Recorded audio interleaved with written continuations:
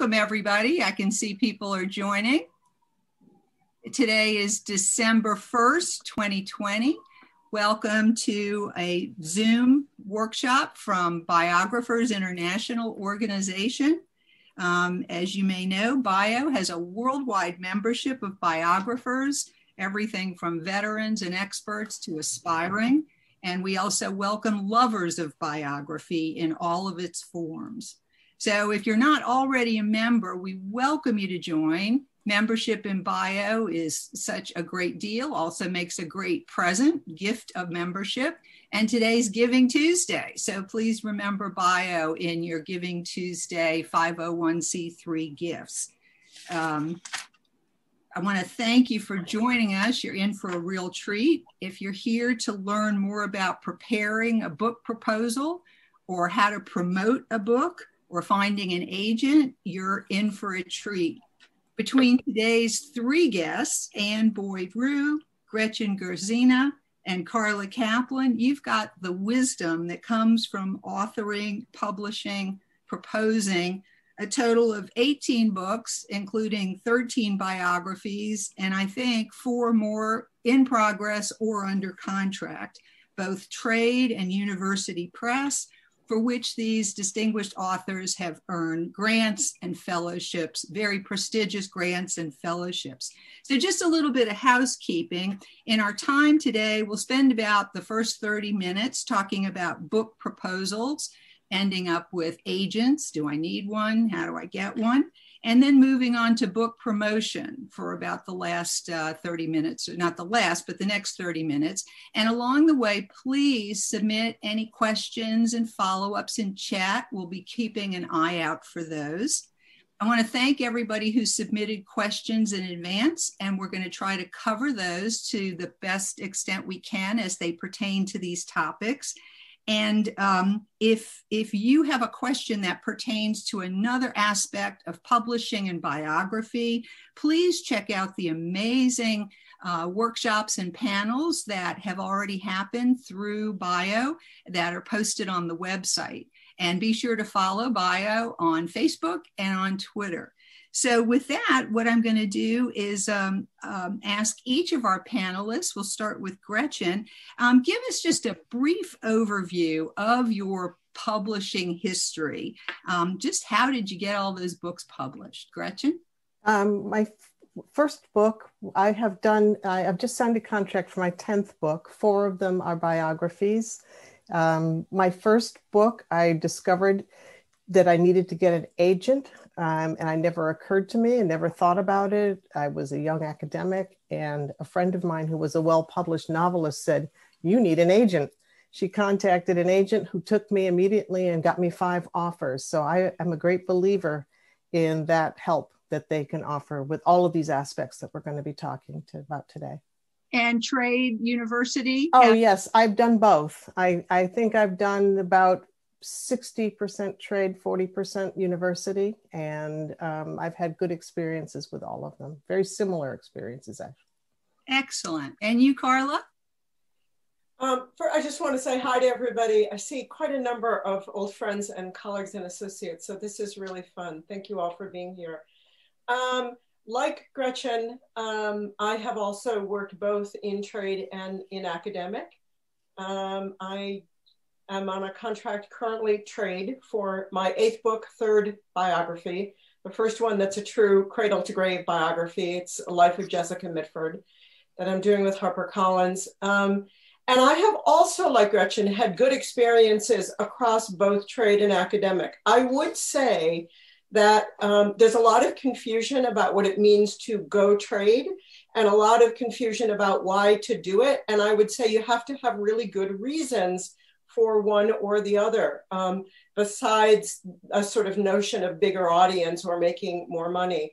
So the first book I did that was trade was Zora Neale Hurston's Letters, and there had never been a book of an African American woman, writer, artist, or intellectual's letters published at that time. And I felt it was really important that because it was Hurston and because of that history that the book make a big splash and that it be available publicly.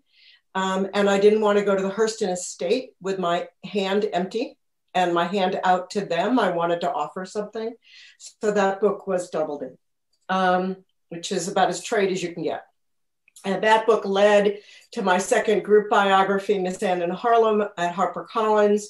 And um, I made a real deliberate decision that that book go trade. It could have been an academic book, but I really wanted to take the academic conversations about identity and identity crossing into a general audience. And I was very committed to a general audience for those reasons. And the current book is Trade uh, because um, Jessica Mitford speaks to so many different people in the life she led. And I wanted to raise big questions about her life. Um, but these are very, trade books and academic books are not just different in audience or different in advance, they are really different kinds of books. And I think it's something we'll talk about today. And I might have more to say about that. Excellent. Thanks, Carla. Anne, welcome. Tell us a little bit about your publishing history. Um, sure. I published three books, and my first book was an academic book with Johns Hopkins. Um, I would not say that was a, a great experience.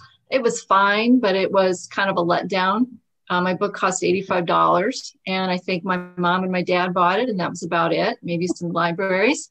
And it took years for me to, uh, you know, hear from readers and to get reviews and things. So when I uh, was working on my biography of Constance Fenimore Woolson, I'm in my scholarship. I work on the recovery of lesser known women writers, and she's a writer who I felt really deserved to be more widely known and not just as the friend of Henry James. And so I decided, even though I had a contract with Johns Hopkins and I had missed my deadline and they weren't communicating with me, and I didn't even know if I still had a contract. And so I decided to look for an agent and um, to see if, if this might be a sellable idea. And so I learned a lot about that process of, of making the transition. And it was an incredible experience. It was, it, it was way more than I could have imagined. It was the book was, was reviewed on the cover of the New York Times Book Review, and which was a massive surprise. I never even thought to dream of, of that happening. And my last book um, is a biography of a book about Little Women, and so my two trade books are from Norton. Wonderful. That's terrific. And I just want to, and you know, there will be a lot of people on this who are aspiring or thinking about writing a biography. And um, I, I, share, I guess, their view that, um, well, two things. One is belonging to bio puts you in close contact, shoulder to shoulder with giants in publishing biographies, like these three people on our panel today. Um, but there, there is for the lesser known. And if you're writing about a particularly unknown subject and you mm-hmm. don't have a track record in academia or in writing and in publishing, um, I was thrilled to get an university press knowing that there was going to be a lot less promotion and backing. And to this day i just count my stars that as a you know former lawyer that's what i got. So uh, just remember the the beauty of bio is you get to come in contact with the stars uh, but at every point along the way there is something and and there's lots of ways to enter this wonderful field. So we've been we've mentioned uh, all sorts of things. Carla tell us first let's let's talk about this. What is a book proposal um, so i'm glad to be the first one to talk about this because when i um, did my second book proposal i was such a failure at doing a proposal and um, I was a failure over and over and over and over and over again. And I had to learn what it meant. The first proposal that I did was for the Hurston book, and that proposal wrote itself. And the argument for that book wrote itself. But the second book, this group biography of white women who crossed into Black Harlem in the 1920s and 30s, I had this really complicated idea of the book. And uh, my proposal kept trying to get at all the complications and my agent um, all three of my trade books have been done with an agent uh, different agent in the first than in the second two uh, and um, my agent kept saying oh you're so smart and this is so wonderful and it's so thoughtful and your research is incredible start over I just had to keep starting over and over and over and it took me a really long time to figure out what I was doing wrong. And even she couldn't quite say. And the way I think about it now is I go back to really early training I had in a completely different field. My parents were both social workers. My father did massive fundraising for social work organizations. And early on, I did some case statements associated with the work he was doing. And case statements are complicated multi-part reports for fundraisers that say why you should give your money to this organization and not some others. So they are high stakes documents that are all about why, why, why. And that's what a book proposal is. Carla, let me stop there though. Who is it going to? Like so the book proposal is first it's going ideally back and forth between you and your agent, and then it is going to publishers. So the book proposal is going to publishers to say, buy this book and not something else. Um, my first two trade books, the Zora Neale Hurston and the Miss Anne in Harlem, were both sold at auction. There's not so much of that now as there used to be. There was a bidding war on both. I ultimately did learn to write successful proposals. But here's what I had to unlearn. And now I'm talking to my fellow academics on the Zoom. Um, as an academic, the last thing, please don't be offended, I will explain this sentence. But as an academic, the last thing I was trained to be is interesting. yes, absolutely. As an academic, I was trained to be right. I was trained to be comprehensive. I was trained to be multi layered. I was trained to do all sorts of things, but I actually wasn't trained to be interesting. You can be an incredibly successful academic and never be interesting. And it doesn't actually get in the way of your success. And the first thing a publisher wants to know, and the really the key thing about a proposal is is it interesting and to who? Why would people spend $29.95 for this? Or 85 for and why is it interesting? And if it's only interesting because it's interesting to you because this person was your cousin, uh, it's not a trade book. If you don't know why this would be interesting to others and who those others are, you're not ready to write the proposal yet. That doesn't mean you can write the proposal. There have been incredibly successful biographies of salt. Salt was made interesting. Incredibly successful biographies of race horses. Who cares? Race horses were made interesting enough for massive success. It's not about the subject, it's about your understanding of who it's interesting to and why. And the proposal is not you showing what a good researcher you are. It is not you showing how much time you can spend in the archives, though you will. It is about showing who it's interesting to and why it's interesting. It took me forever to understand this. Thanks, so, Gretchen, at what point do you write the proposal in your journey of writing a biography? Now, that's a really interesting question because, like Carla, I, I had no idea what a proposal was. My first book was a biography of Carrington, Dora Carrington of the Bloomsbury Group. And nobody had done one on her. And I was lucky to have an agent. Uh, actually, had two agents, one in England and one in America, who um, could take it and run with it. Um, and I don't think at that point I really had to write a huge proposal. What that came so easily to me, and it went, two of my books went to auction in the same way, that um, when I had to actually write a real proposal, for the book that actually got me the biggest um, advance. it was painful. It was so painful. And so I had to learn a couple of things. First of all, I had to write more before I could write the proposal. I, I hadn't written enough to be able to say the kinds of things that Carla's talking about. So I had to write maybe a chapter or two, get my head around it. And then the second thing was um, once I figured out, okay, now I'm ready to write a proposal, I realized I had to be a storyteller. And that's what they want. They want story. Um, and they want to know that you can pull off the story and that you have enough evidence for whatever story you're going to tell. So I think the writing, when you feel confident enough that the writing is going to grab somebody, because you want them to keep reading that proposal from the first page, whether you've written the whole book already. Um, sometimes you've written half a book before you write the proposal, and then you're in a better position. On that You know, the problem with that is that you don't necessarily want to change what you've written, and the proposal might make you want to change. And I think the other thing we should think about it at what point do are we able to answer the other questions? So the first is what's the story? How are you going to tell it? What's in it? What are the chapters is the next one. And then also the marketing is in there too. Who's going to buy it? What books do you compare this to? Um, if there's nobody else written a book like this, why is that? And what will yours do? Can you compare yours to a bestseller so this can piggyback on it but not be the same thing? That's a, a good thing to, to have too.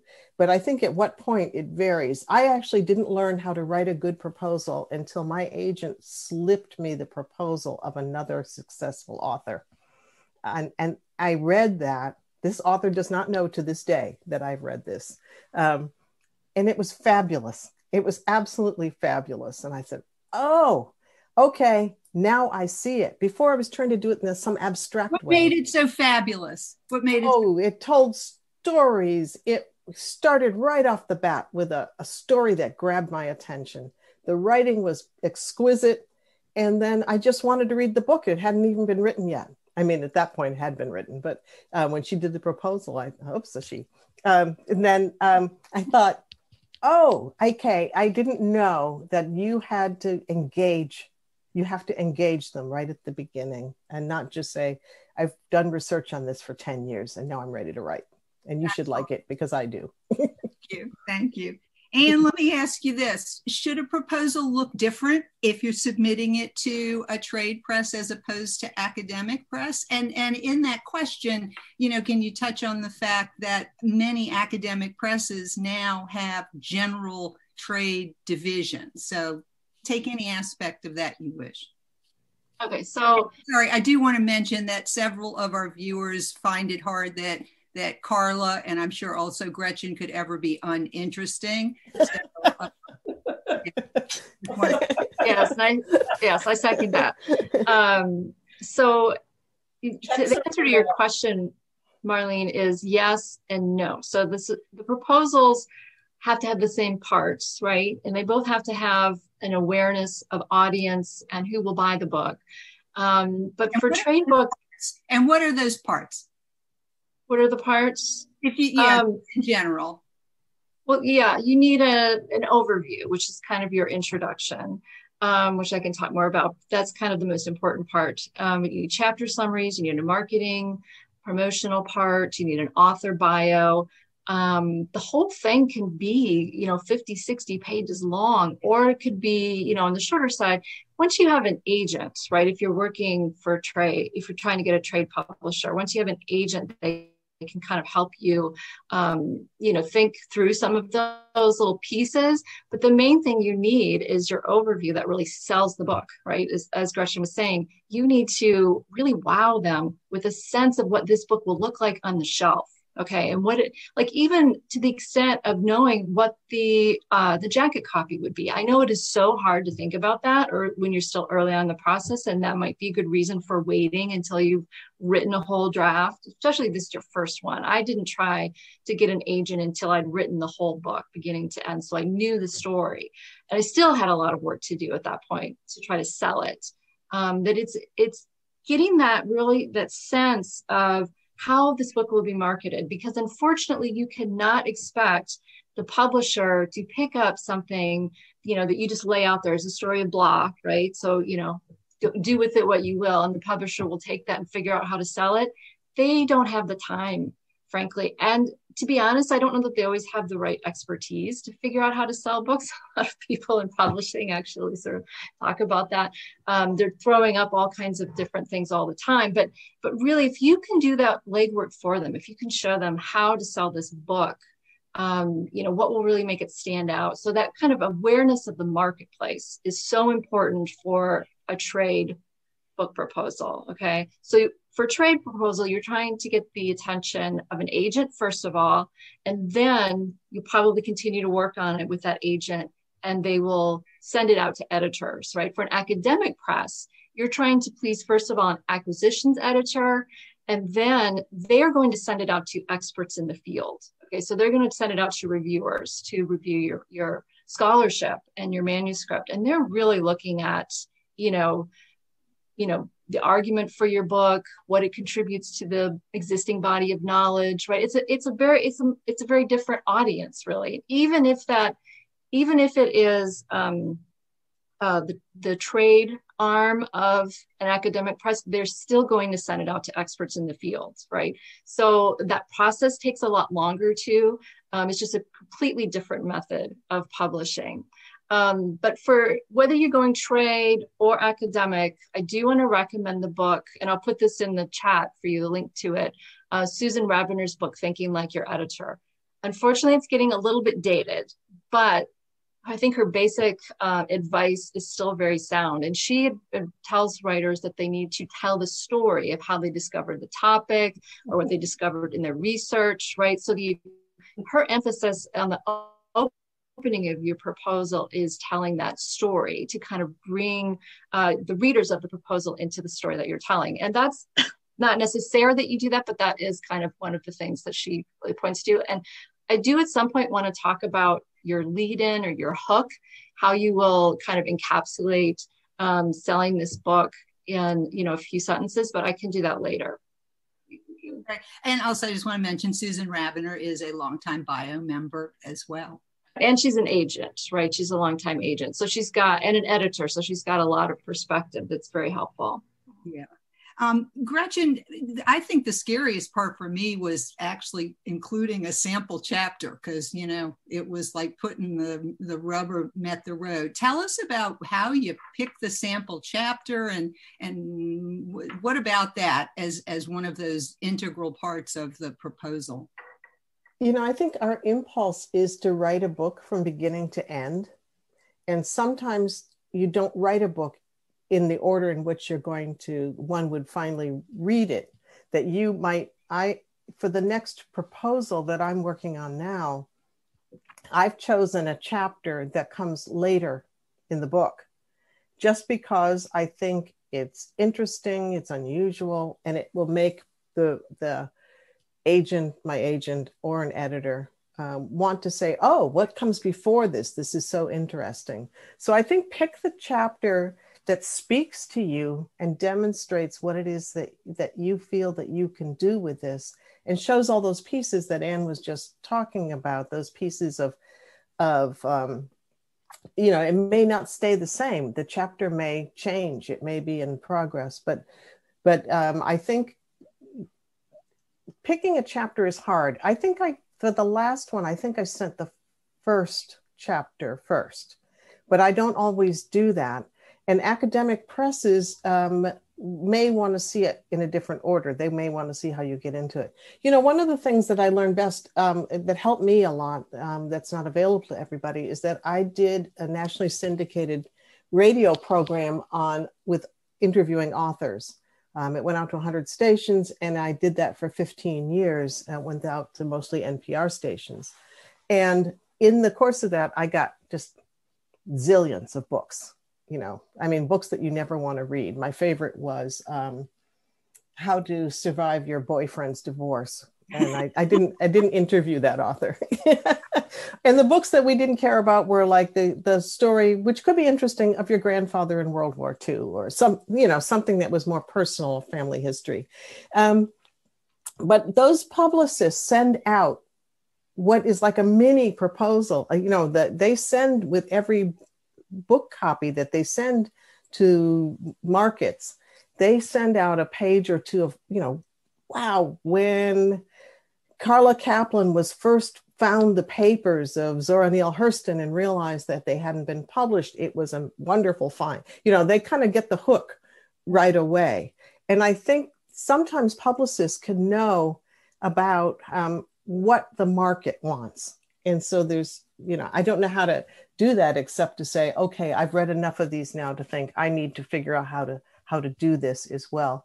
I haven't found any difference necessarily between the academic and the trade presses I've worked with, um, except that I think that um, you're a bit more on your own with some of them than you might expect. I think maybe um, a bit more on your own with an academic press.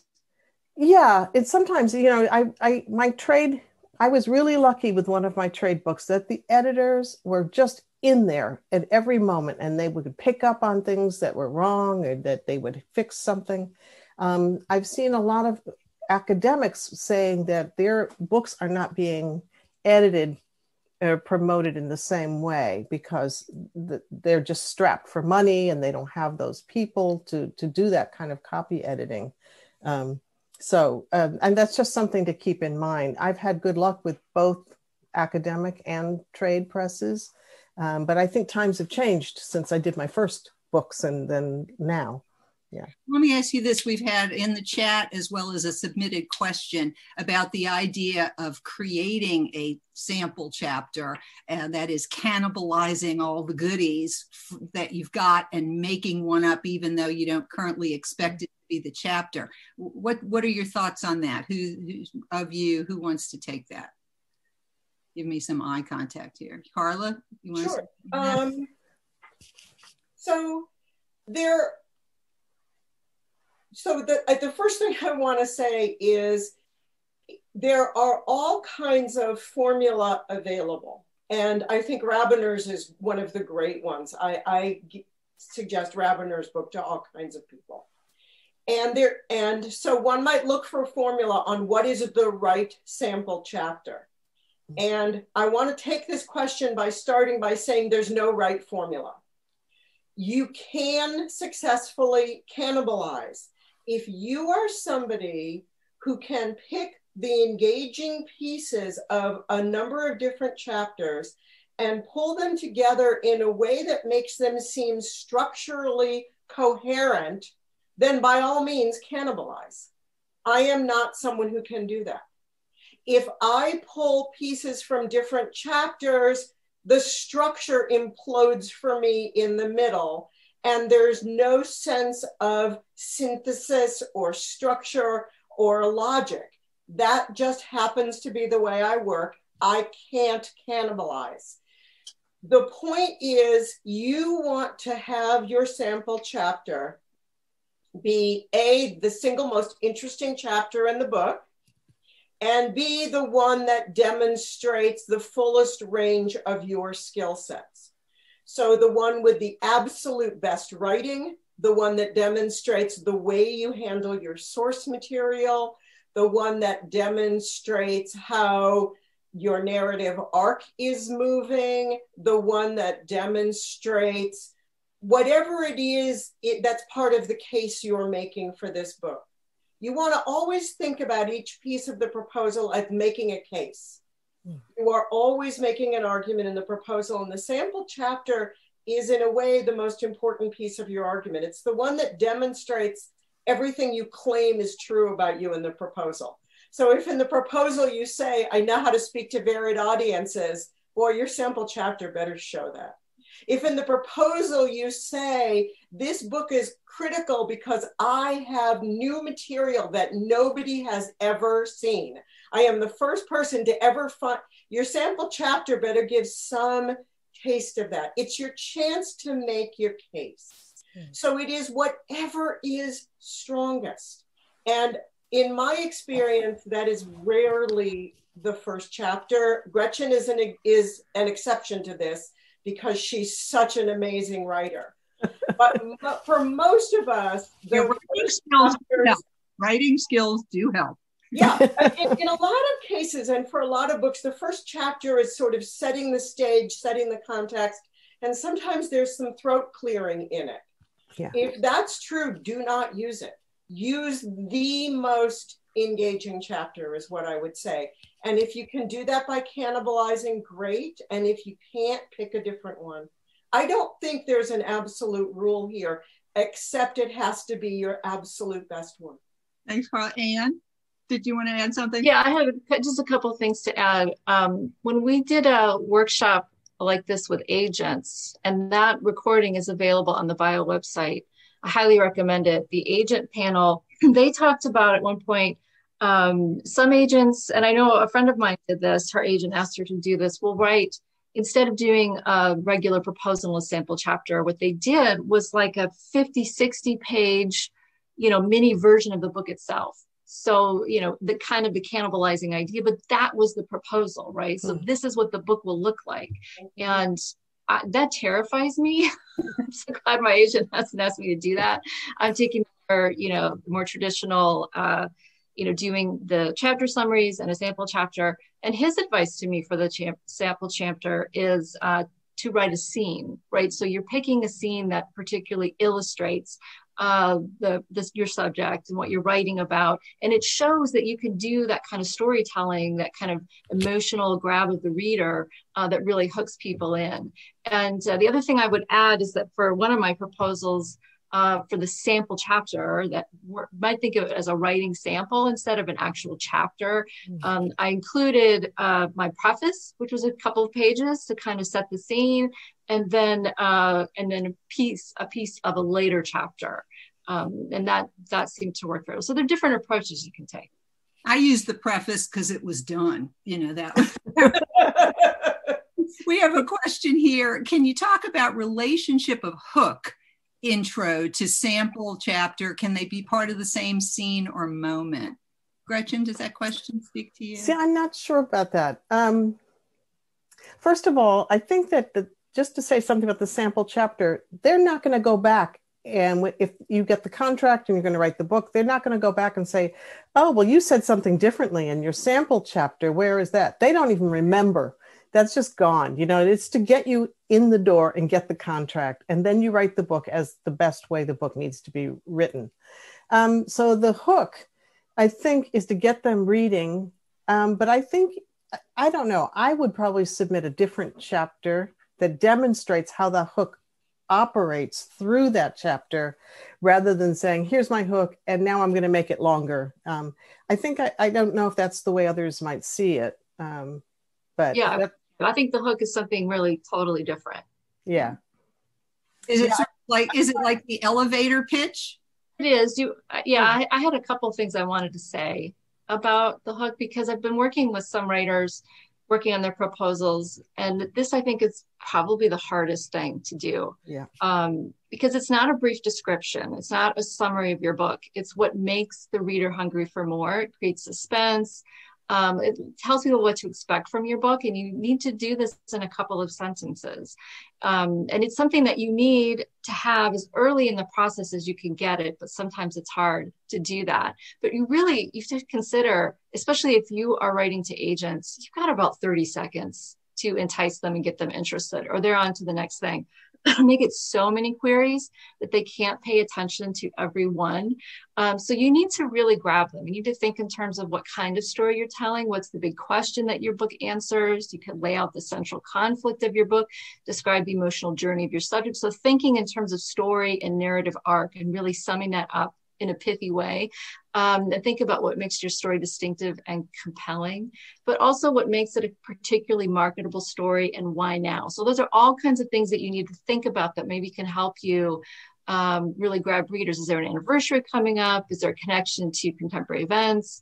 Are there similar books uh, on this topic or that take a similar approach that have been really popular? There's a lot of, you know, a lot of people are, are selling books in the hidden figures vein, for instance, right? Mm-hmm. Um, and so I, one tip I have for writing your hook, which I have found extremely difficult, I think I've figured it out, but it's, it's a hard thing to do.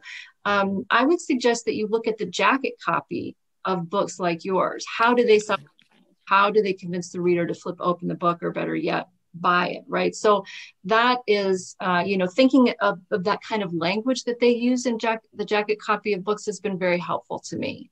And, and that your comp titles right? We've, we've, mentioned comp titles a couple of times.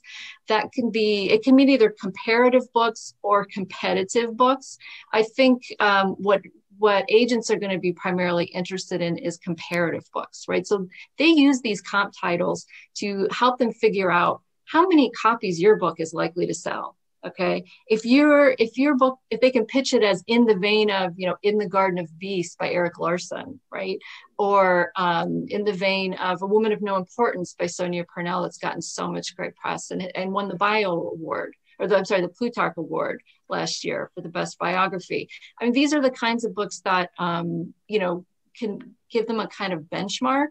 Um, but it's probably not the best idea, especially for your first book, to try to sell it as it's going to be in the next bestseller, the next Erik Larson, right? But you want to pick books that are, um, you know, written recently, five, ten years maybe the most, and books that are maybe written like yours in the style of yours or in the same vein about similar kinds of people. If it's Civil War stuff, right, you've got a lot to choose from.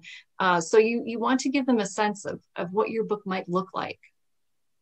Thanks, Anne. Carla, you wanted to add? I wanted to add two things. Um, and, and this goes along with my theme that there's no set rules, but there are useful formula. Let me tell you what your hook isn't. And, and I, and I do mean this as an absolute rule. Uh, there's um, if you're writing biography, your hook is not about you. The hook is never about I first became interested in Arctic explorers when I was only 14 but then I became a dentist. And I had 35 years as, oh, you think I'm joking. I had 35 years as a dentist, and then I became interested in Arctic explorers again. that is never your hook. Nobody's interested in that except you. You are, and that's fine, but it's not interesting to other people. And a really good way to get a strong sense of what's a working hook and what isn't is to read other people's proposals in some version or judge contests. I've been lucky enough to get a lot of outside fellowships. Eventually, I learned to write a proposal, but it took me a really long time. And I've had a Guggenheim and an NEH and others. And as a consequence, I'm asked to serve on a lot of juries reviewing other people's fellowship proposals. And I do it a lot and I do it all over the country. I also do it because I founded a humanities center and I judge contests. And I do it partly because it's service, but because also it reminds me, it helps train me, it helps me learn. And if you've never seen another proposal of any kind, it's really hard to write one. Volunteer for something. Your local library probably has a contest Hmm. and they probably need judges. And the more you can see what works and doesn't in proposals you get, the more you will understand why I say that I was 14 when I first became interested in Arctic explorers is never your hook. Thanks, Carla. And I want to. I want to just let me just also add that um, for those who have tried and failed at uh, getting wonderful scholarships and proposals, there is a silver lining because um, although I'm expert at law, I didn't really understand the proposal business as it applied to scholarships and grants. But a little birdie told me be sure to ask for the evaluations. There's gold in yes. our nose. And when you see what people like Carla and other reviewers are saying that you were lacking, which these anonymous reviewers do, it, it's wonderful. And I ended up, you know, just by pure will, um, you know, getting some scholarships and grants. So those those that rehearsing and doing and seeing examples is crucial. Um, did somebody have something to add? Because we have got so much more. Okay. The only thing, this is just a quick thing, and I totally agree because I've served on those reviews and I've served on prize committees and all of those things. It teaches you an awful lot about why things are working and why they're not and how they missed the boat. On the other hand, I've also seen reviewers who missed the point and when we got we you know i got the things back at something i didn't get and i said but that's not what i said um, and so those comments don't always come through. But one thing I wanted to say to Carla, the hook about you know wanting to be an Arctic explorer, when I was writing um, Mr. and Mrs. Prince, which was about two 18th century enslaved people in Massachusetts and Vermont, later in Vermont. It was an interesting story by itself, and you know I was able to track down a lot of stuff. But it wasn't until um, halfway through the research, after I had a contract, that I discovered that I was actually descended from the white family that had owned the people I was writing about. I remember this. And that was a hook. yeah, I would think so. so there are ways to use a personal aspect of it, but not to tell your whole life story and you know how you came back to want to be in this. Because I had no idea when I decided to write about these people that this was going to be the case. So there is a place for that if you had been you know you won a nobel prize in in you know in physics you know you might want to mention that thanks gretchen i just wanted to add that i I just put in the chat a link. If um, I I've put together a list of prompts that you can use to kind of try to write your hook that I've found. Oh, I've also seen a lot of proposals as a as a grant reviewer for the NEH, but then also um, my agent sent me some, and I've asked for friends, right? I've asked other people, and once you get to know people in bio, you know, you can just say, "I'm really I'm working on a proposal. Would you be interested in sharing?" One with me, that kind of thing. And there are some also on the bio website for members. Um, but these are prompts and things that I've seen, or, you know, just kind of a Mad Libs sort of thing to fill in the blank that might kind of help you figure out how what would make a successful hook if you would like that in the, in the yeah, chat. And Michael Gately, our wonderful executive director, um, if I can ask you to also at the end file the chats so that we we can maybe follow up more generally in the newsletter or something if we don't get to all the questions. Anybody anybody can save the chat at any time if you want to do that. Anybody who's watching. I'm going to forget. For yourself. Uh-huh. Forget. Um, thank you. Um, because there's also a lot. And if there's anyone in there who, for some reason, wants to be contacted, please remember it doesn't save your email address. So if there's something in particular, you know, go ahead and add that in. Um, so let's talk now about, you know, the, the, the other side of this. We've touched on it, and that is the proposal needs to have a marketing section. So, Anne, talk a little bit about how important is that marketing section? You know, what is your goal? Um, and then we'll talk about the A word, the agent in the process here. So, first, we need to talk about the P word, which isn't necessarily proposal or promotion, it's platform. Uh, you've probably heard that term trade. If you're writing a nonfiction book, you're told you must have a platform, right? You must have thousands of followers and newsletter subscribers and whatnot. And that can sound really scary.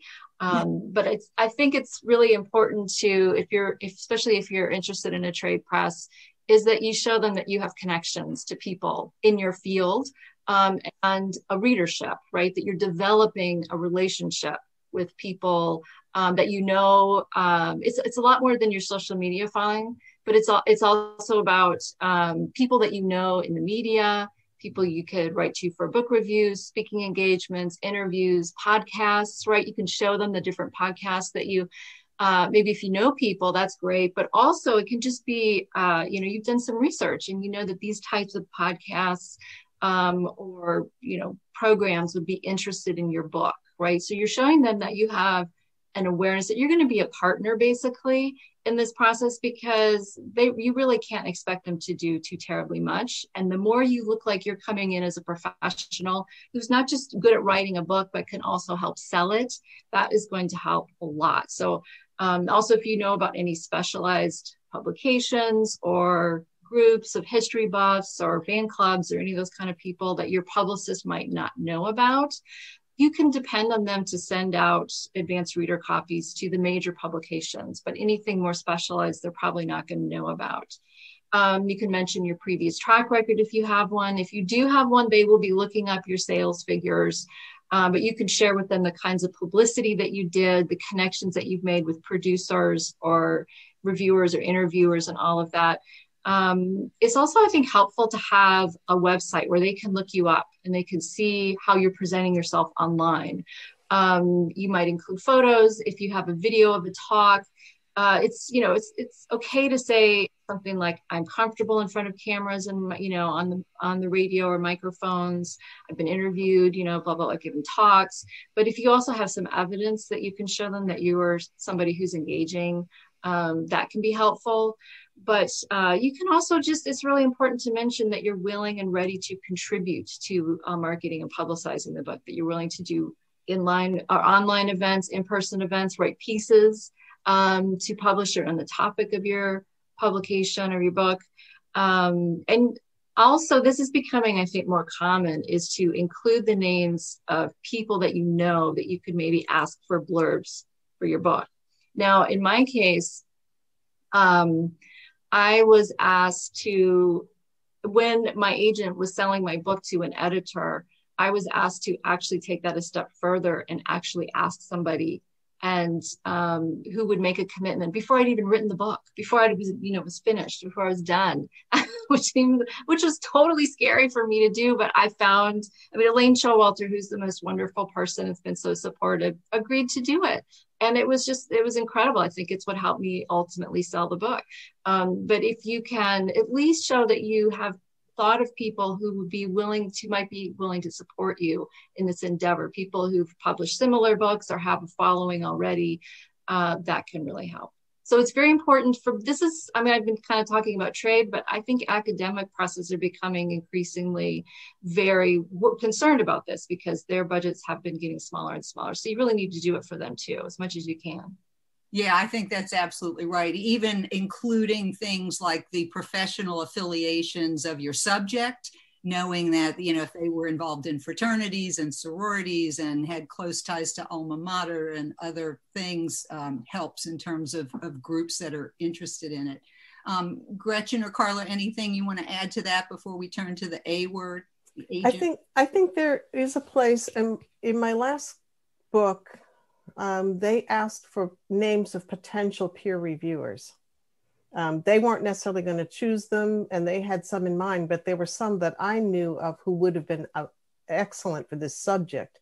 And they took that seriously. So I think even ahead of the publicity part, you might want to make sure that they know uh, that you're well connected enough that these people might be appropriate to review your proposal, um, especially if it's an academic book. But trade books, they don't always, but sometimes do send out for review. Um, but peer review in academic presses is really important. So it's good to have, um, you know, I, I, put one or two heavy hitters in there, um, just as even if they didn't go to them, to say these are people who know this field and who might be willing to to support this proposal um, or review it.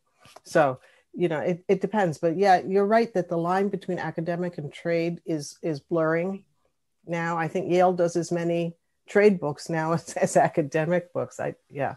Um, and norton does books that might have only been considered academic books in the past. So um, it's not all so clear cut Carla, anything to add? And then we have a question I want to toss out as well. Yeah, I just want to add one thing. If people are are worried about not having heavy hitters in their pocket, you know, mm. if you're listening to this and you're worried that you don't know um, Anne Elaine Showalter, you don't have to have heavy hitters and you don't have to have a phenomenal sales record. What you have to remember is that you are making an argument and the argument includes a why you. Why are you the right person yeah. to write this book?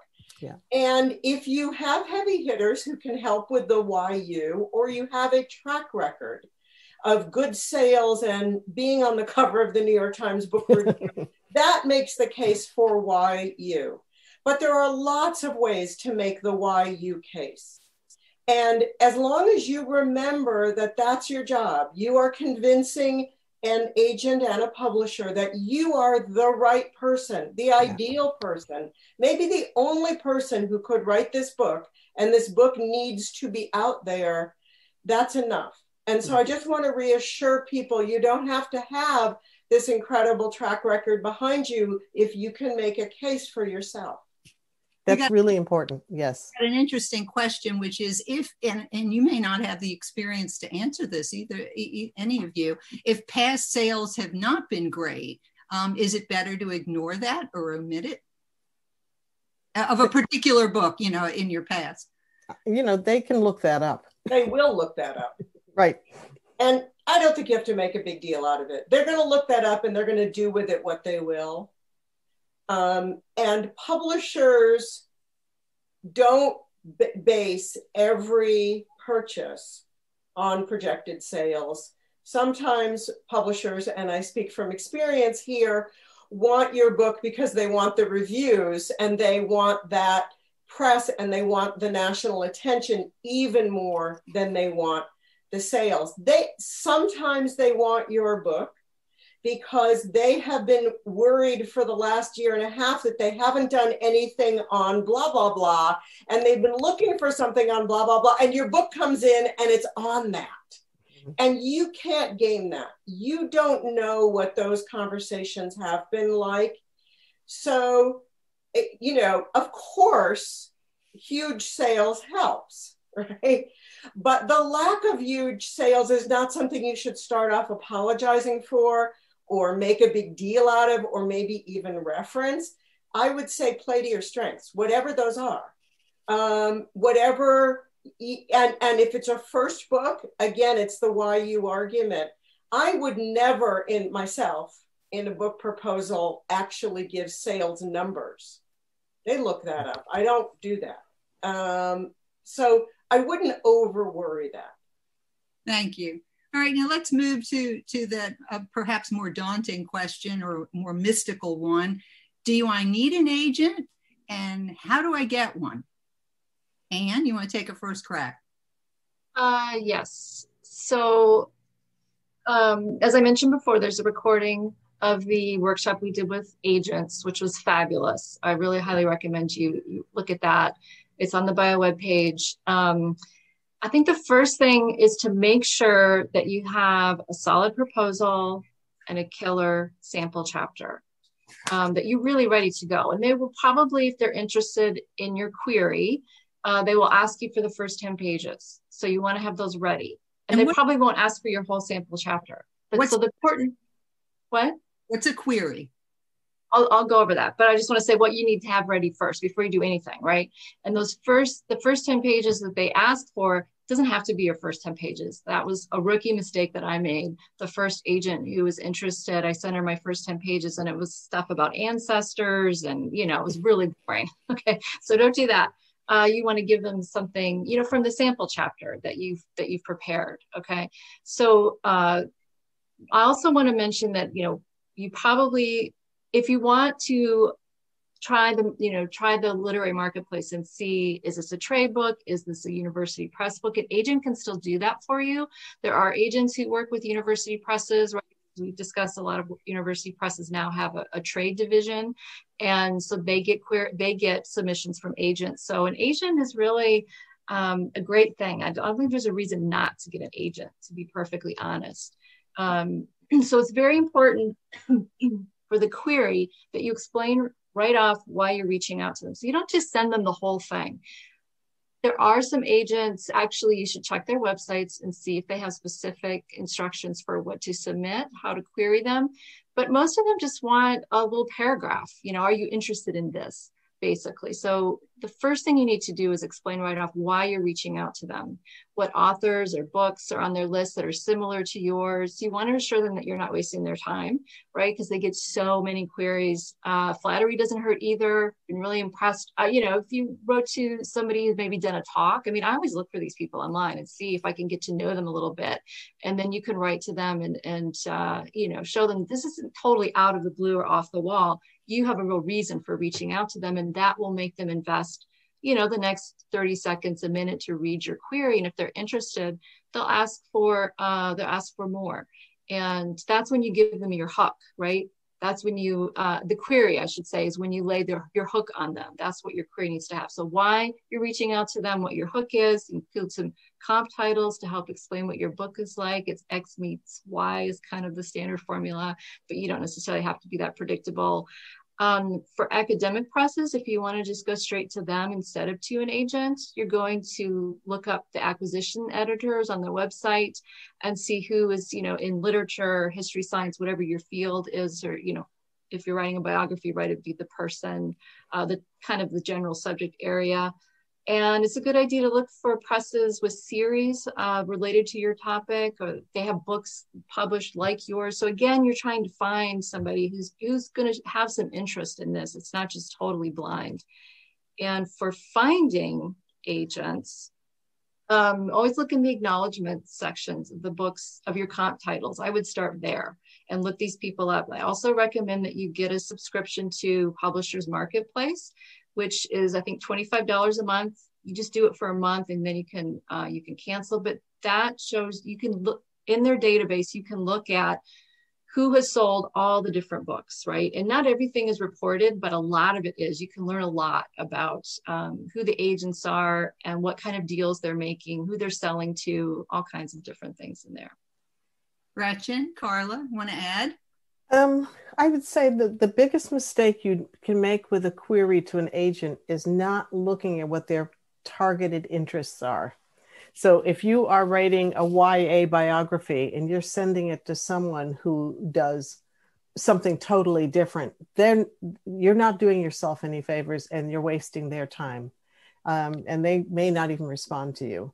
So make sure that you're finding someone who works in an area that that you're writing in. That's first of all. The second thing is I think some people are nervous about getting an agent because they think it takes money from them because the agents get a cut. But almost always they get you more money than you would have done on your own and even um, help you with contract. Um, uh, so I, my my next book is with a university press. I got very little advance, but I've always gotten an advance. And I said to my agent, "Hey, you're not going to really get anything out out of this, but would you mind looking over the contract?" And my agent was really able to say, "You didn't look at this clause really carefully. Look what they're going to do to you, or here's something over there." So I presented a list, kind of with trepidation of seven changes and they accepted all but one and one was because of a legal reason they couldn't do it. Um, so it, it, the agent is invaluable. They also know who's out there in publishing um, who would be really interested in your kind of book and they can target those editors and even sometimes set up a meeting with them or a conversation. Um, and i just i can't say enough good about having an agent. You know, they've gotten me more money, they've gotten me a better contract, and they found me um, editors that I and publishers that I might never have considered. Um, so I, I do think they're invaluable and they can help with dramatic rights should you ever be that lucky to get a movie made of something you want to do they're they're right in there for you well and it's not only movies it would also be a consultant on a documentary absolutely There's yeah all sorts of, of things carla you want to add I just, yeah, I, I want to agree with everything that's been said and add um, a couple of things. Um, I think an agent is a wonderful thing if it's a good agent. Right. Um, I've had two agents. My current agent, um, I adore. I adore her as a person and I adore her as a professional. I think she's just extraordinary. Um, a good agent is a wonderful thing. Yeah. But an agent isn't necessarily. Right. Um, and it is a complicated relationship. If you have an agent, the relationship is always a very complex one. And it really is a relationship. And a bad agent, uh, it's you can feel like you're in a bad marriage. So uh, an agent is wonderful if the agent is good. Um, the other thing I want to say is if you know you're aiming for an academic press and it's a first book, I wouldn't worry a whole lot about getting an agent. No, no. Anne's experience and Gretchen's experience is slightly different in this regard, as is mine. If I were doing an academic book now, when I do an academic book, I will sometimes show my agent the contract, even though she's not getting 10%. And I would say, Is there anything here that's a little weirder that I should be aware of? Or I'll talk to her about what I'm doing. Um, and that's different because we have a working relationship. Yeah. In Gretchen and Anne's case, Gretchen and Anne are superstars, and the agent is going to stay with them even if they're doing a sort of quirky book for, for one book. The agent is going to stick with them because of who they are and they're superstars. But if you are doing a first book and it's going to be academic, you are likely to be looking at an advance in the thousands if you're very lucky and an agent's 10% of that could be 150 or $300. They can't work for that. They just can't. It doesn't work for them. It, it, their economic model doesn't allow for that. So for a first book author who's definitely ending up with an academic book, it may be very hard to get an agent because they're looking at the economics of that. They're looking at the fact that if this writer gets a $2,500 advance, my 10% is 250. I can't read eight versions of their proposal for that. So you have to be able to see this from their side, is all I'm saying. Right. And that's if you get actual money. In my case, without an agent, first book, I was thrilled to get what I now know is called a right of first refusal contract, which was simply their promise that if I came up with a publishable manuscript, they'd read it. They would do it. And and that is huge. I don't want anyone to think I am still grateful as a, you know, an unpublished author that I was able to get that. There are all everything is a win. Um, yeah, the one thing I wanted to add to that was um, the right of first refusal means they get the first look at your next book. It doesn't mean that they have an obligation to publish it right. uh, or that you are obligated to go with them. It just means that they get the first crack at it. Um, but the second thing is, um, I'm working with students um, who have graduated and gone on to write books. Some of them have told me that they approached an agent who wanted a fee to read their um, query and read the proposal. And that's something I, I would caution against. Um, I think my experience is that reputable agents don't charge you if they say, I want, you know, I want you to take a look at this and, and think about representing me. They should not be, you, you should not be giving them money ever. Um, that is not a reputable agent, and it might well not be an agent that editors want to work with either. Um, so that's just a caution. Excellent. Thank you. Asked in the chat, how do you know when you have a bad agent, you know. Okay. um, I yeah, I had to I had to uh, leave a sever a relationship with my agent, and it was yeah, it was it was really awful. I hated doing it. Um, but it had become clear to me that she didn't believe not that she didn't believe in me and my work, but she didn't believe that publishers were paying, you know, people to write books. And I wasn't I, as I got to know people in the industry, I learned that people are making a lot more money than I'm making. Mm. I should try another agent. Um, and it's never going to be the kind of money that lets you, you know, write the book for a year or two. I mean, it, it, it may be eventually, I hope so, um, to give me that time, but it's really, the money is, there's not a lot of money regardless, I would say, especially, I don't think biography is a particularly lucrative field in, in, the publishing world. Of you know so we're not going in it just for that but you still want to make it worth your while and get this make work worth your while and get the support that you need uh, to do travel to do research to market the book to hire a publicist you know all of those things you know you can do with your advance and before we switch to uh, promotion, a book that's been published or is in the works, I just want to say that as a lawyer of some 30 years, when I actually got my contract, it was Greek. I, you know, I know how to read a contract. And so um, there is lots to be said about getting whether it is an agent or a friend or a published author to look at it. In my case, I went to a publishing lawyer um, but used what I learned. There, there's nothing transparent about the publishing world, unfortunately, I've learned. So let's turn to the promotion part of the book. And what do we mean by it and when does it start? Uh, right now um, would be my short answer. So I think, yeah, you need to um, start as soon as you can and it can be some it can be just as simple as getting to know people in your little corner of the literary your scholarly world right? That you're laying the groundwork you're letting people know that you're writing this book. If you have well do you have a website? If you don't have a website and you're writing a book you should have a you should get a website going. Um, you probably you need social media accounts. And and make sure that on your website and on your social media accounts your little bios say that you're writing a book about such and such, right? And start talking about the fact that you're doing this and not in a spammy kind of weird way, but in a, you know, informational kind of, I'm sharing, you know, what I'm learning with other people kind of way. So the most important thing is to write a great book.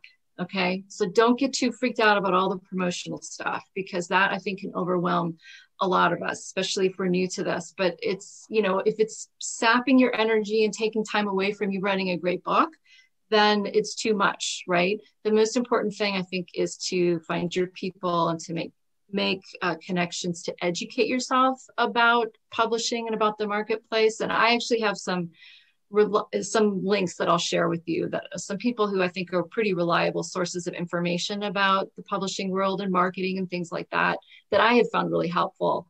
Um, and I will say this about social media. You do not have to do all the different social media platforms, okay? Pick one that you're comfortable with and stick with it. I would recommend Twitter.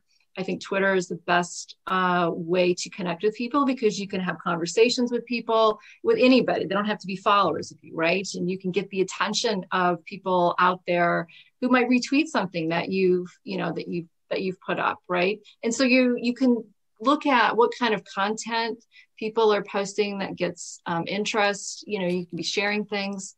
I would also consider creating a newsletter. So the conventional wisdom is that it's the best way to connect directly with readers. It can take a while, kind of a long time to build up your uh, newsletter list, but um, you want to make sure that you're offering people in your newsletter not just news about you because they don't know you yet, right? You want to give them something else that they value. So my um, the publicity or the marketing people at Norton suggested that in my newsletter, make it about little known women writers, which is kind of my field and my area. And I was writing a whole book about a little known woman writer. And so I was doing a profile of one each month. And uh, as, as a result, um, people started to get to know about my newsletter. You know, it was, it was written up in um, piece on LitHub and other places, people mentioned it as part of this larger project of recovering women writers that seems to be, you know, really gaining traction. So if you can tell stories about something interesting related to your subject in your newsletter, and then you also tack on your news of what you're doing, you can start building your newsletter list by creating little freebies, um, little things that uh, that people might want, and uh, you can spread the word about that. So those are kind of some of my general comments about getting started with promoting. Carla, did I see? Um, so I, I mean, I would second, I would certainly second absolutely everything Anne said um, about promoting you. You're starting it sort of as you're thinking of, of the book. Um, but I would also say not er, there are all these different platforms and all these different ways of promoting some work for some people and some work for others. So I've always heard it said that, you know, people who really love Twitter don't like Facebook, and people who really like Facebook don't like Twitter. Um, and then there are those of us who aren't very good at social media at all, but love a live audience. Now, in the pandemic, that of course, paused, but someday there will be live audiences again. I am not particularly good with social media. I have been a terrible disappointment to everybody who knows me in the social media realm. But I love a live audience and I will take any microphone anywhere. You know, give me a microphone and, and I'm a happy camper. And I know that. So when I think about promoting a book, I really try very, very hard to play to my own strengths. So in, if I'm thinking about promoting a book, I think about all of the places I could give a live talk um, and I think about all of the worlds that my subject touched that they might be interested in a talk by me about this subject.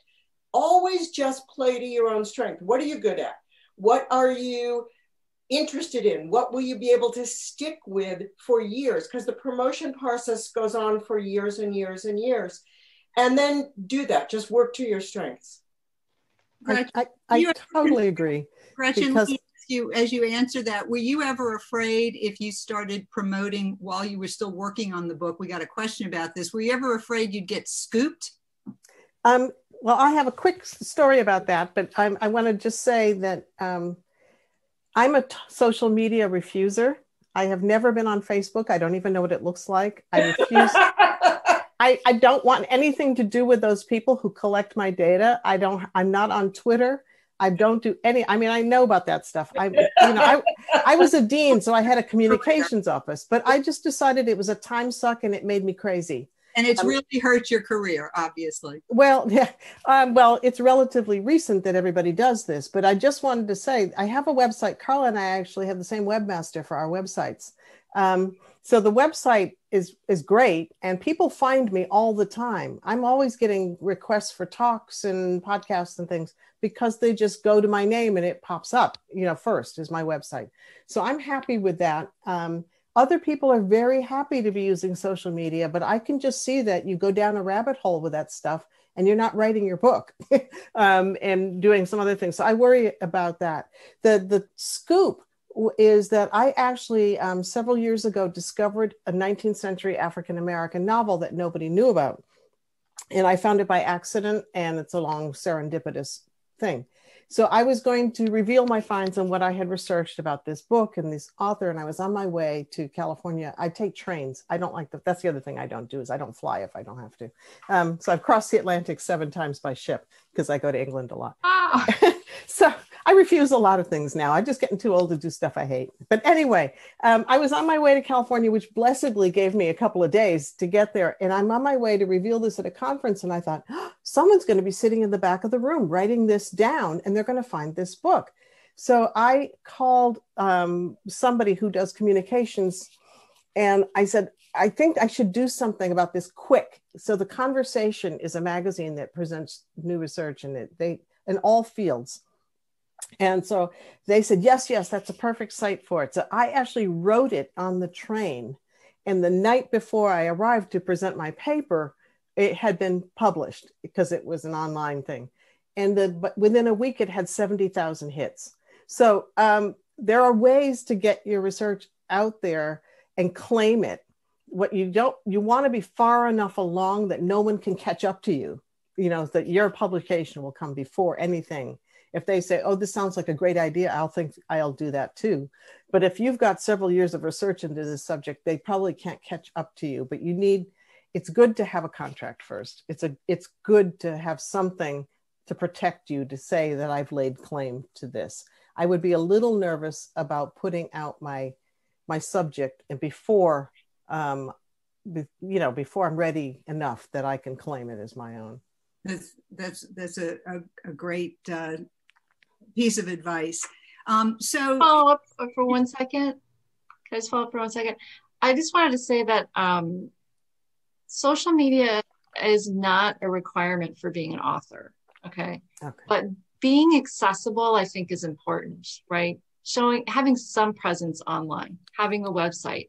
Yeah. If if you're only comfortable with that, that's fine. But at least have that out there a newsletter i think is a wonderful way to communicate with people and uh, you know share your ideas and share what you're doing um, and you don't have to you know there are lots of simple programs that allow you to do this really easy squarespace is great for creating a really simple website it's not hard to do anybody can do it but you know put your put your email address out there and let people show how they can get in touch with you give an agent how they get in touch with an agent right? And even if that's all it is, at least you've shown that you are accessible and you have yep. a presence somewhere. Yep. So don't get too worried about all the other stuff unless it's something that you enjoy. You should never force yourself to do it because you people can tell when you're forcing it and it's not effective. Okay. So if if you want to try to connect with people, have conversations with people, um, then do that. And I think Twitter's a good good way to do that. It's it's easy to find people and connect with them on Twitter. Facebook is impossible to connect with people. Um, the way that all the log algorithms or however they do it, I would not recommend Facebook at all. Um, don't even worry about that one. So thanks, Anne. So putting aside the social media stuff that is, you know, within the purview of the of the author, how do you figure out exactly what you can expect your publisher to do for you? You know, there are those wonderful mm-hmm. movies that I was kind of expecting where, you know, the author sits at a table at a fancy restaurant and has a this exchange with the editor and then they're wined and dined and they show up at airports and there's their name on a thing and they're whisked off. And it's a little disillusioning when you realize that you know there's a question from the publisher of what you want to do in your marketing and they give you they tell you the three things and the one magazine they're going to pay to put you in. Now for those with bigger trade presses. I understand there's even cutbacks there.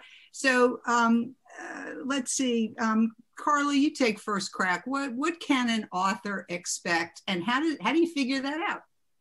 So so first of all, I would say you can expect less and less, and um, I mean everybody's having to cut back. Every you know everybody's trying to in publishing. Everybody's trying to survive right now. Um, so you can expect less and less. And the way you figure it out is you actually have really frank conversations. Um, they're, they're, not secretive about this. They will tell you what they can and can't do for you. They can always do less for you than you would like. um, my last book, um, which came out a few years ago, so it was before the pandemic and the sort of enormous crash of, of things in publishing, they did do a tour, um, and the, and I had the best publicist, the best in-house publicist at HarperCollins, a woman who was absolutely extraordinary, and I hired my own publicist for the radio. So she told me what she could do for me, and what she could do for me was print reviews. She had incredible connections with print reviews. She was a woman of my generation, and that's the world she knew. Um, she knew the world of print reviews, and she could get the galleys of my book in front of the key print reviewers, and she did. And I said, you know, what about radio and TV? I like to do that. And she said, you know, I do it it's not really my thing. I don't really love it. I'm not sure I'm great at it. And we worked out an arrangement and I hired a publicist purely for public radio. And I don't know what effect it had on sales, but for me, it was completely worth it because one of the reasons I did that book as a trade book is I wanted to have public conversations about identity and about race and about race and gender. I wanted to be in the public conversation about the long history of the interwoven horrors of American racism and sexism. And she, I ended up with over 80 radio shows. And so it was completely worth it. But I knew what I wanted, I knew what my goals were, and I had that conversation with them.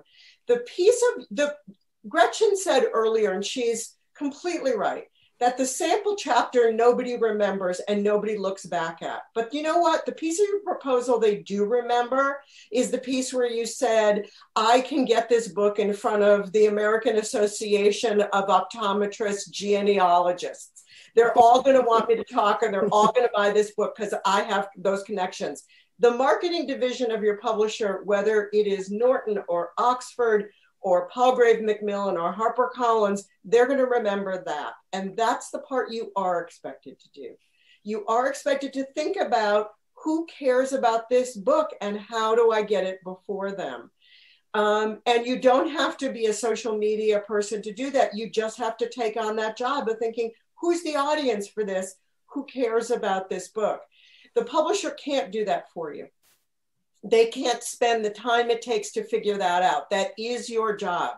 And if you go into this expecting that movie version where the publisher identifies all of those audiences and it knows that your book is really important to everybody who's involved in the world of dressage, forget it because they are not going to figure that out. That's your job so if that's what you're expecting from your publisher, you will be one of those writers who say, "Oh, the publicity, the promotion department was terrible. They really let me down." Because you're forgetting it's your job to figure out who the audience is. They'll help you get to that audience, but you have to know who it is and why they care. So I would just say expect less from your publisher and remember you're a team you and your publisher are not adversaries. They would like to sell your book, but they have to sell other books. If you can be a team player with them, it makes all the difference in the world. Gretchen, did you have any uh, surprising discoveries, perhaps earlier in your career? Yeah, um, I was actually surprised by um, several years ago. I had just published a book that I that um, did pretty well, and I was using the publicist for my trade publisher. And I had mentioned to someone from an organization that I like very much that I would love to come talk to them. And so they said, Great. Well, what they did was contact the publicist. They didn't ask me directly. And I found out a year or two later, I said, Whatever happened? I would have loved to have gone and, and given that talk. And they said, Oh, your publicist asked for a $5,000 fee to give this talk. And I said, What? I had no idea this was a talk I arranged. They should not be asking for a fee. They're not a publicity agency. They are a, they work for the publisher, and this would have sold books. And so I would just say, be very clear when you're working with the publisher to find out exactly what the publicist will do and not do, and make clear to them that, like Carla, I like to to speak in person. I like the radio. I like television. I like those things. And I want to make sure that if people want to talk to me, that I'm available to them. You know, I don't want to take, you know, a flight every week to someplace on a tour. I'll go by train, but that's a different story. But um, but I, I don't want them to be closing the door on something that I would very much like to do rather than working on my behalf. She thought she was helping me. I don't know if they were getting a cut, um, but I was very upset. So just be, be clear on what they will do and not do. Agreed. And and although the tradition was that publicists do command a retainer of thousands of dollars, um, I one of the beauties of bio is having context to all sorts of people in the publishing world, including publicists.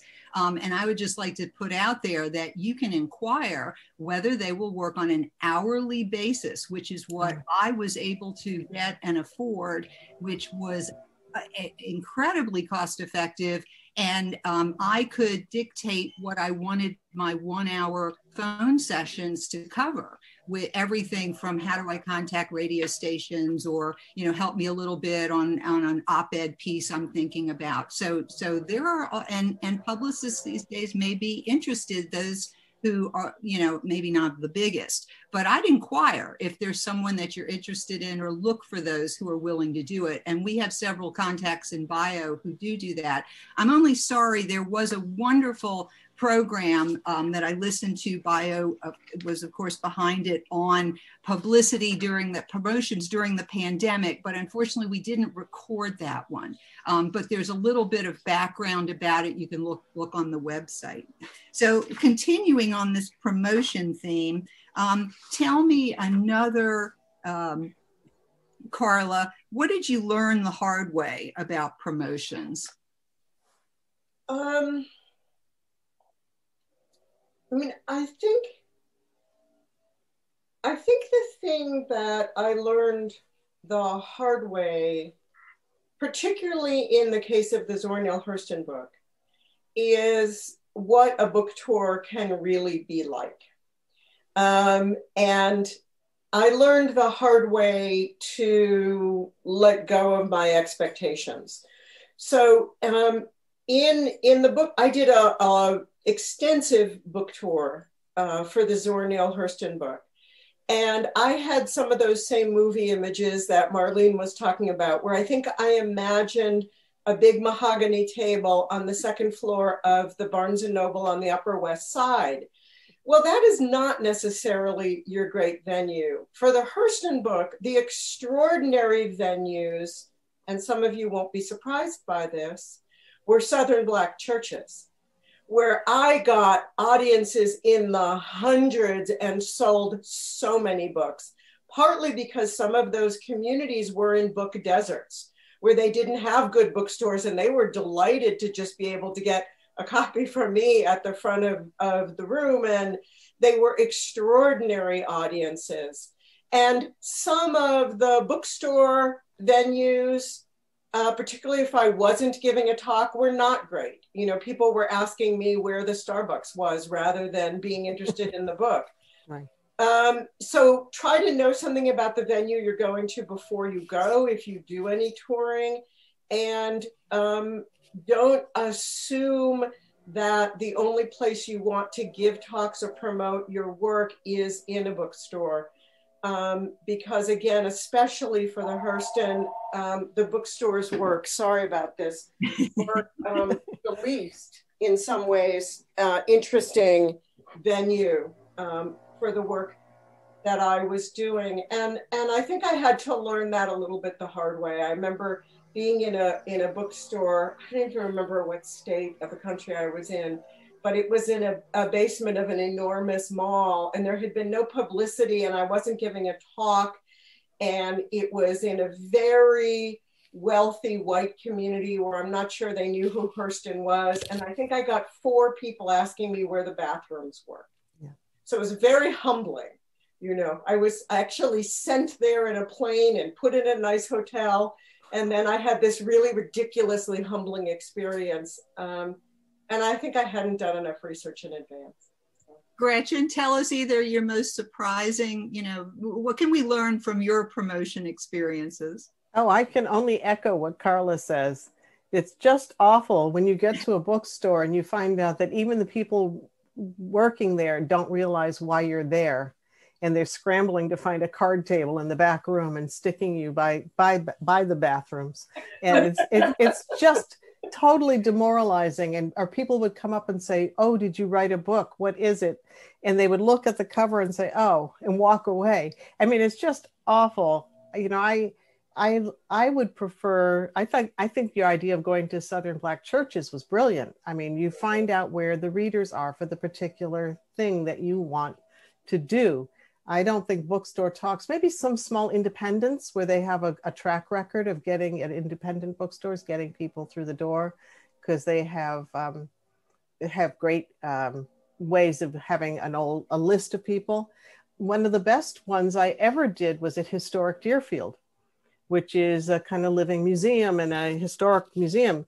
They have a great re- list. Um, the people had the people I was writing about had lived in Deerfield and it was nothing like um, going to a to the Barnes and Noble talks I gave. It was just more gratifying.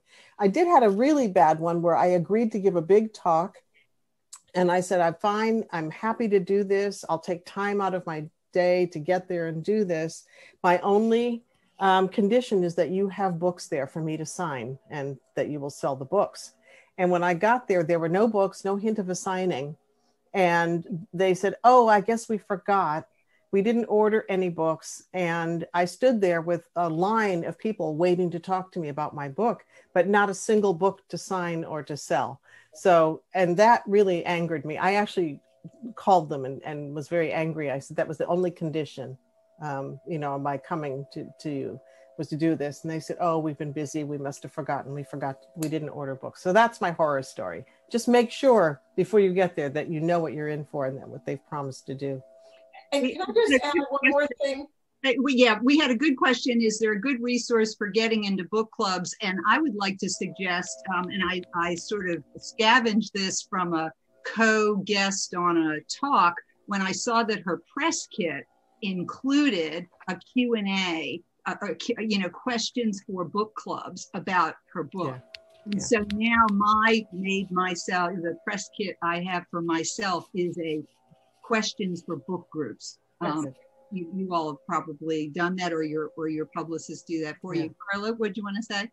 Um, I, I, wanted to add one thing to what Gretchen said uh, about making sure the books are going to be there, and and make sure you have handled the logistics of what happens with them afterwards.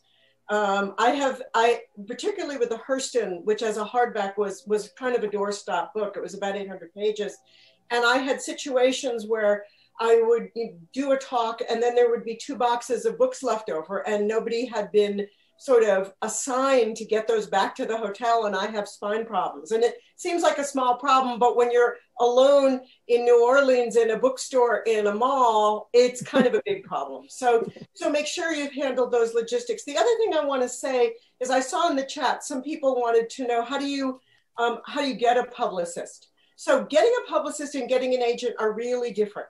If you're thinking about getting a publicist, ask all your writer friends who've used one Never hire a publicist until you talk to other people about if the person is good or bad.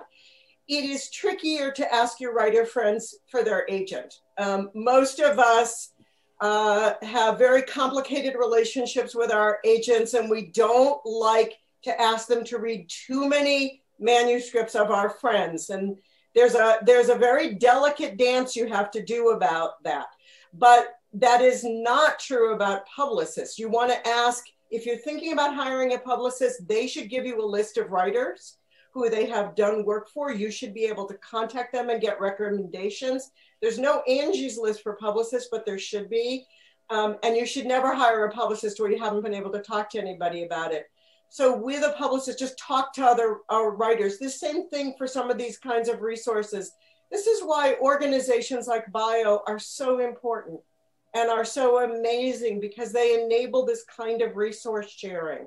So if you want to know, you know, how do I get a publicist or how do I get a publicist who will be hourly or can I do any work with a publicist for $2,000 or you want to know how do I get into book clubs, organizations like BIO, they are your friends. They will connect you to people who can answer that. That's great, Carla. And uh, before we close, I do want to give another pitch for Bio. If you are not a member, and we're thrilled you're here today, please join. It is the most uh, reasonable amount for all that you get. It also will reduce uh, by a lot. Your uh, fees for attending are what will be wonderful because it always is. Our conference at the end, sometime in May. Um, and also, as I said before, it's Giving Tuesday. So if you are a member or not, please support our 501c3 with a tax deductible gift to bio. And so I'm going to ask for, you know, last word real briefly. Start with Anne. Anything else you want to say to our viewers? I, I did want to say um, what I've learned through my journey of promoting my books is um, to not try to do all the things it is completely overwhelming all of the advice you know all you know the latest thing is you have to have at least 50 amazon reviews um, you know the first week or they're not going to show your book i mean it's just like one thing after another it is so incredibly stressful and i have to say i got terribly burnt out um, after my last book came out i overdid it i spent way too much time on facebook um, and twitter and all the places and trying to you know I did a pre-order giveaway. I was sending out extra newsletters. I was giving interviews. I was flying here and doing that, and it just it it really affected my health. So, you know, you, you really don't need to push yourself that hard. Um, I think it's really important to to consider um, that this is just your first book, right? There will be other books, and the more books you write, the more audience you will have. So promoting this one book isn't necessarily the end all and be all, right? This book will still be out there and will still have readers that you can continue to promote as you write new things, right? Uh, so the more you can do to kind of get your name out there and you know share your knowledge with people, uh, the more readers you will have. So it doesn't all necessarily hinge on this one book and the sales figures that first week, you know, which can be overwhelming. That's great advice. Carla, last word.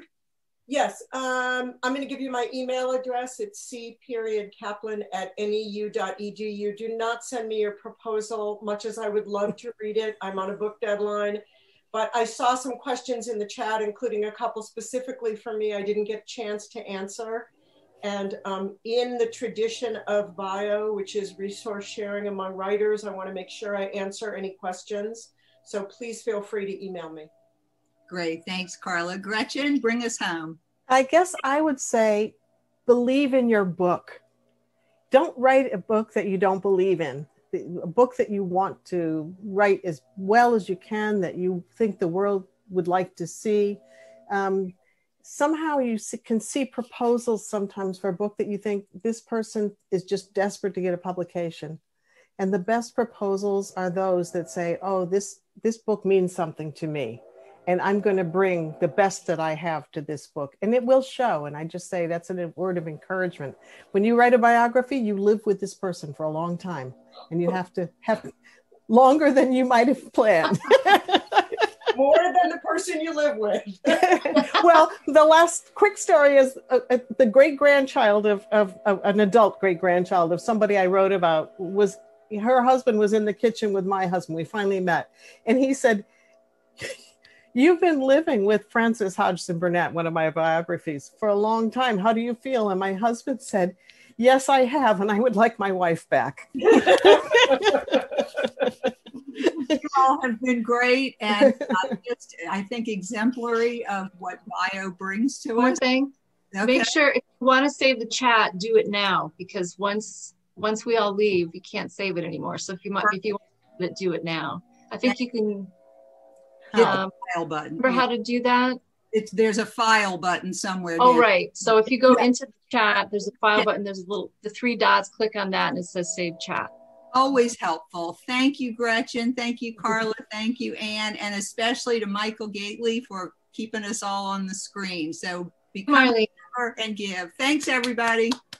This One for the stuff you put in the chat. Lots of great resources in there. Yes, excellent. Thanks, everybody. Thanks, Marlene. Bye.